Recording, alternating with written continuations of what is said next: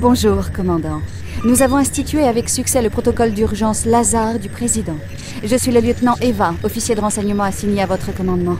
Et comme vous êtes le dernier commandant vivant, je pense que j'ai de la chance d'avoir un job. Nous avons apparemment subi une invasion des soviétiques. Presque toutes nos grandes villes sont assiégées et nos forces sont dans un désarroi total. Ne quittez pas, commandant. Nous recevons une transmission du général Carville au Pentagone. J'espère que vous êtes bien reposé, commandant, parce que depuis 8 heures précises, vous avez le contrôle de tous les satellites, bases, tanks, avions, de tous les hommes, femmes et enfants dans tout l'Est des États-Unis.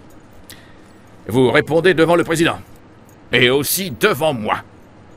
Votre officier de liaison opérationnelle sera le lieutenant. Votre commandant pour cette mission sera l'agent spécial Tania. Général, j'espère que le commandant était rapide parce qu'on n'a pas de temps à perdre. Je suis sûr que Tania a vraiment confiance en vous, commandant. Oh, bien sûr. Ce n'est pas votre vie qui est en jeu ici. La meilleure, c'est elle. Mais vous vous débrouillerez mieux avec les soviets. Vous commencez immédiatement. Première étape, New York. Le lieutenant vous donnera les détails. Récemment, les soviétiques ont débarqué en amphibie sur l'île de Manhattan et utilisent leurs troupes au sol pour envahir systématiquement la ville.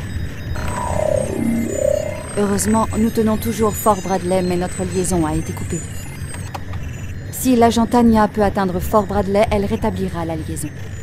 Bonne chance, commandant.